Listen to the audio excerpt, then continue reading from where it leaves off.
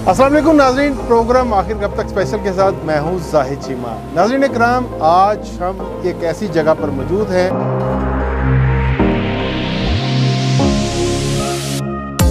हर पाकिस्तानी का क्या, बल्कि गैर मुल्की का भी दिल करता है कि वो पाकिस्तान की इस प्लेस को लाजिम इंजॉय करे। मौजूद हूँ वादिय नीलम के गाँव शारदा में।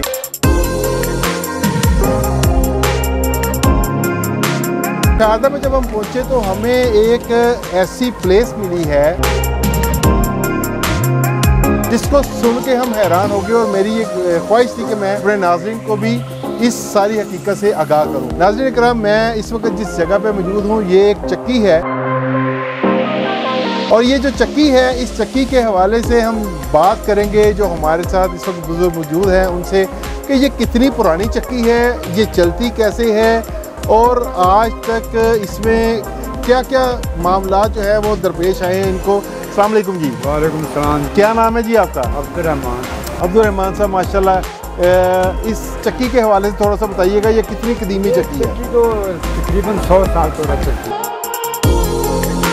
दादी को ये तकरीबन सात पीढ़ियाँ गुजर गई। ये चक्की चलती है। सात पीढ़ियों से ये चक्की चल रही है? चक्की चलती है। अच्छा तो ये चक्की चलती किससे है? ये पीछे से पानी आता है नाली से। नीचे इसके पखा लगा हुआ लकड़ का। उस पखे का कनेक्शन इस पत्थर में है। ये बिजली से नहीं चलती? नहीं नहीं ये पानी से चलती है। पानी पखे को लगता है पखा घूमता है। उसका कनेक्शन इस पत्थर में है पत्थर दो एक नीचे फिक्स है। फिक्स है। एक फिक्स है। ये ऊपर वाला खुला है। हाँ हाँ। ये इसका मक्की ईसाई होती है बस सिर्फ़ मकई की होती है। मक्की की होती है। इधर गन्म नहीं होती है इधर एक फ़सल होता है सिर्फ़ हाँ। मक्की का। हाँ हाँ। में बर्फ़ पड़ जाती है तो सिर्फ़ एक मक्की होती है इधर की इधर की काट मक्की होती है। इधर की काश्त है हाँ इधर की काट होती है ये भी होती है खालस। मक्की को ऐसे करना पड़ता है और ये चक्की चल रही है। अच्छा थोड़ा सा ये बताइएगा कि ये जितने अरसे से ये चल रही है क्या इसमें कभी खराबी पैदा नहीं खराबी होती है सर। खराबी होती है इसको नीचे उतार कर ना हाँ, हाँ। करते। हैं आपकी सात पीढ़ियाँ चल रही हैं। तो आगे भी आने वाली नस्ल जो है वो इस चक्की को चलाएगी? आखिर तक चलेगी। आखिर तक चलेगी? तक ये ज़िंदगी है और जो हमारी कौम है अब तक चलेगी। अच्छा ये बताएँ कि यहाँ पर कितने महीने बर्फ़ पड़ी रहती है? ये तो तकरीबन सिर्फ़ छः महीने बाद पड़ जाती है और छः महीने चक्की बंद रहती है? बाँध रहती है। छः महीने बाँध रहती है छः महीने पूरी तो छः महीने कैसे गुजारा चलता है? ये पीस कर आटा पहले रख देते हैं हाँ। गंदम का आटा सप्लाई से लेते हैं वो भी रख लेते हैं तो बस ख्याल अपना गुजारते हैं। तो वो घरों के अंदर ही रहते हैं? घरों के अंदर रहते नहीं टूटते रहते भी हैं। हाँ हाँ। बर्फबारी होती है टूटते रहते अच्छा। लकड़ वगैरह सब चीज़ पूरी प्रबंध कर कर हाँ। बैठ जाते हैं। अच्छा। बाद में इसी कभी घास वगैरह कोई वो भी अंदर ही? वो भी पूरा कर हैं मुश्किलात नहीं पैदा होती? ऊपर गाँव से नीचे आते हैं नीचे से ऊपर जाते हैं। अच्छा मैंने ये देखा है कि रोड भी काफ़ी खराब है तो इसके ऊपर भी तवज्जो दी गई? उनका कोई जब सर्दियाँ आती हैं तो रोड बंद हो जाती है।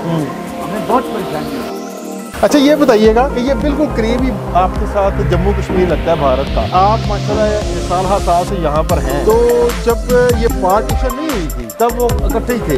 तो अभी भी तो आपके रिश्तेदार उधर हैं? रिश्तेदार हैं हमारे। कश्मीर में है रिश्तेदार लेकिन वो पाबंदी है वो जा, जाते नहीं हैं। बस। जब वो खैर हुआ तो उन्होंने गोले मारे ना पाँच मकान हमारे जल गए। पाँच मकान। एक मस्जिद पाँच मकान। चल गए? जल गए। खत्म। बिल्कुल बेटियों शहादतें कितनी थी? अल्लाह का फजल हो गया दिन यार दिन आ गया। हाँ हाँ। नस के लोग। अच्छा अच्छा शहादतें नहीं हुई, बच गए हाँ हाँ हाँ। तो वो मकान जल अभी भी डर रहता है जिस वक्त खैर करते हैं बस डर लगता है। नाजरीन इकराम बड़ी खूबसूरत बात है कि यहाँ पर जो रहायशी हैं उन्होंने इस ज़मीन के अंदर मोर्चे भी बनाए हैं अपने सब गाँव में मोर्चे बने हुए हैं। सब गाँव में मोर्चे बने हुए ये एक मेरे लिए बिल्कुल नई बात है जो कि हमारे बड़े प्यारे अंकल हैं उन्होंने बताई है। कि जो मोर्चे हैं वो बने हुए हैं सब गाँव में बने हुए हैं। अच्छा ये बताएँ कि यहाँ पर पढ़ाई का क्या सूरत हाल है? पढ़ाई ठीक है यहाँ पर? राय चलती है माशाल्लाह। एक तो अठारहवीं से फारग हो गया है। हाँ हाँ। मुजफ्फराबाद में। सोलहवीं से सोलहवीं से। सोलहवीं से सोलहवीं से। अच्छा माशाल्लाह। पोतरा मेरा था अच्छा पोतरा था माशाल्लाह।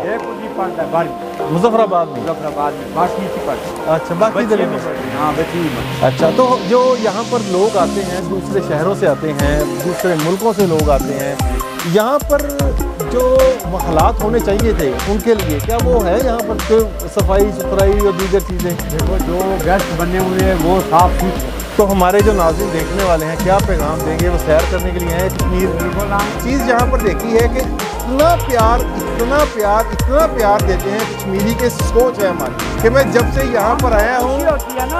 आप आते हैं तो हम भी खुशी होती है। आपके लिए हमारी रोड भी खुली हो जाती है। हाँ। और आसानी भी हो जाती है। और यकीन करें अगर टूरिज़्म को फ़रोग दिया जाए और कश्मीर को फोकस किया जाए हाँ। तो हम इतना ज़र मुबादला कमा सकते हैं कि सोच है हमारी। आपको तो फिर रोड हमारी हो ना तो आप ऊपरों पर खड़े ऊपर ऊपर पहाड़ियों ने देखे मैदान है कैसे सुने।